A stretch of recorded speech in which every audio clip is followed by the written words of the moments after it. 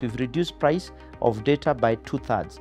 Because of AI and, and machine learning, we can actually be able to target individual customers.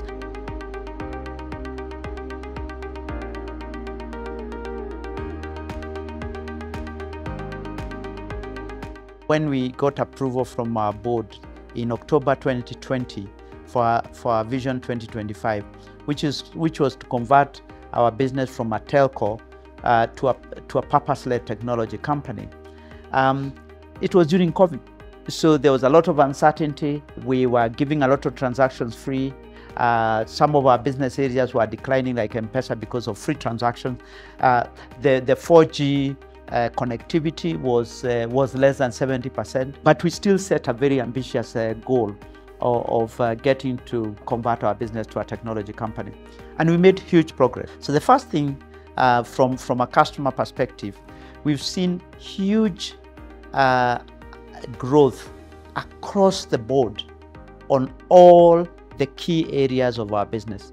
Starting with voice, voice has grown by about 50%, uh, which people thought it was a mature business. Uh, we were not going to continue to grow voice, but we've seen continued growth in usage. Uh, and one of the reasons why usage has grown is We've, we've continued to reduce uh, our pricing and give more value to our customers and also segment our customers so we give more value to those customers who are more price sensitive. And, and say if you live in the rural areas, uh, if you are a student and you want uh, certain connectivity service.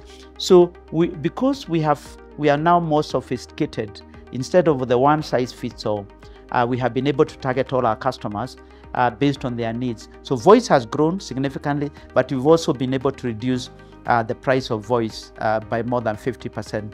The second is on mobile data. That has been the star performer. So mobile data has grown massively.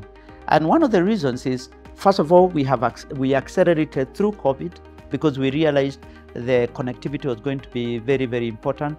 Uh, we closed the gap uh, on 4G coverage. So now we have more than 95% 4G coverage in this country.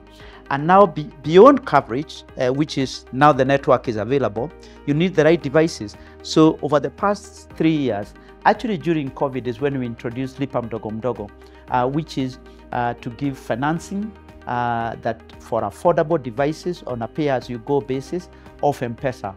Uh, so customers are now able to transition from two uh, to 4G. By that time, we had less than 25% 4G penetration, actually 20% 4G penetration.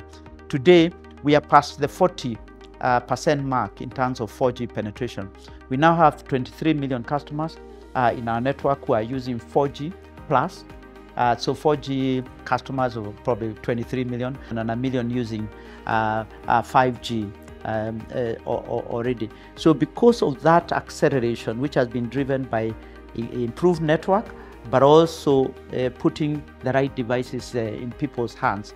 That has seen huge growth, 3x growth in our data usage. Uh, of course, we have not grown our revenue 3x because we've been reducing price. We've reduced price of data by two thirds. So data is a lot more accessible. Mobile data is now much more afford affordable. And to add to that, we are also uh, giving propositions to individual customer segments based on their affordability. So the youth uh, are being given probably better pricing. Uh, in fact, now we are calling it the marketing segment of one. Uh, because of AI and, and machine learning, we can actually be able to target individual customers. And indeed, actually now we are saying you can combine voice, mobile data, SMS, make your own bundle.